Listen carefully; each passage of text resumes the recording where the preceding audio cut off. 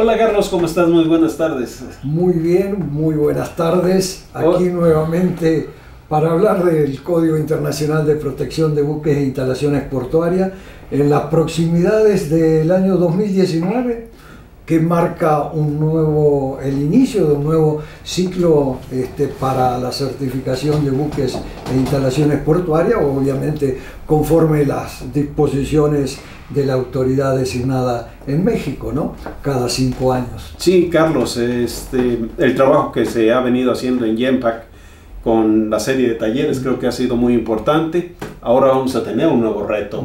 Este reto creo que va encaminado a perfeccionar las herramientas en materia de auditoría interna y creo que ahí vamos a tener que trabajar mucho. Sí, efectivamente, este, conforme los nuevos lineamientos que ha dado la autoridad designada para instalaciones portuarias, evidentemente tenemos que hacer llegar un poco la experiencia, Creo que IEMPA se ha adelantado a los acontecimientos. Desde 2012 el Instituto de Educación Náutica y Portuaria ha este, estado trabajando en el desarrollo de un sistema de auditorías internas acotado obviamente a lo específico que es este, verificar la eficacia del plan de protección, como plantea el párrafo B1658 del código PBIP. ¿no? Sí, Carlos, eh, a mí me parece interesante porque eh, las mejoras que se metieron desde el ciclo 2009-2014, que era la responsabilidad de la dirección y la clarificación sobre la auditoría interna, pues dieron un giro completo a la visualización de lo, cómo se aplicaba el código aquí en México. Creo que sí es punto importante esta nueva, este nuevo esquema que vamos a estar implementando y creo que debemos de encaminarlo hacia un esquema de práctica y ejercicio más que a un aspecto teórico.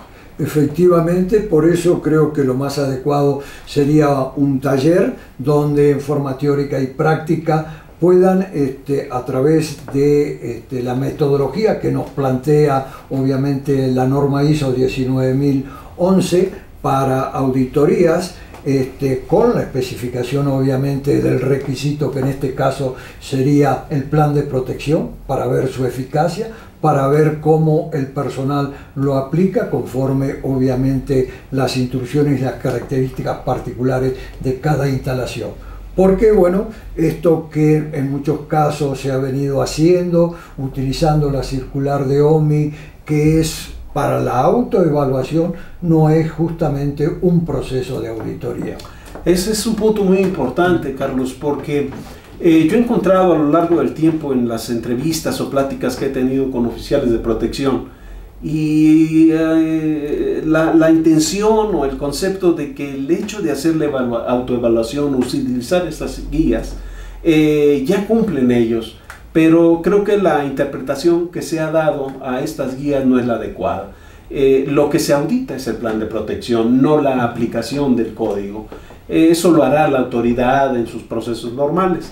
Entonces sí es importante esto que nos indicas y las modificaciones que se van a llevar a cabo. De todos modos, creo que debemos de tocar los temas de la evaluación, el tema de la mar, eh, ver aquellos otros escenarios, que es lo que nos permite surgir, las prácticas y ejercicios. Creo que hay una serie de elementos en el taller que también habremos de eh, renovar y dar las nuevas herramientas. Bueno, justamente si hablamos de eh, auditar, ¿no es cierto?, para determinar la eficacia, esto nos va a permitir, obviamente, detectar aquellas oportunidades de mejora, para lo cual, obviamente, llevar a cabo un proceso de evaluación para nos permitirá de alguna forma, obviamente, determinar nuevas amenazas, como así también posibles vulnerabilidades o procedimientos que ya no resultan suficientemente eficaces.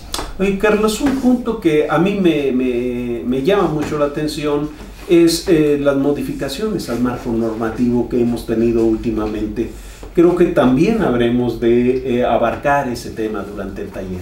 Sí, sin lugar a duda, porque de alguna forma las reformas de ley están planteando en la práctica la existencia de dos autoridades designadas en materia de protección marítima y portuaria y por lo tanto siendo el código o el plan de protección más propiamente dicha, una relación entre el buque y la instalación portuaria, no es fácil concebir, ¿no es cierto?, cómo va a funcionar en la práctica eh, la existencia de estas dos autoridades este, en materia de protección marítima y portuaria. ¿no? Perfecto, pues amigos, los esperamos en los talleres que llevaremos a cabo en los diferentes puertos de la República. Sabemos que va a ser muy interesante para todos ustedes, sobre todo las nuevas herramientas y una sorpresa, la posibilidad de que ustedes se certifiquen como auditores internos en materia del código con un reconocimiento de la entidad mexicana de acreditación hacia un organismo de certificación de personas. Carlos, muchas gracias no, y nos estamos viendo. Un gusto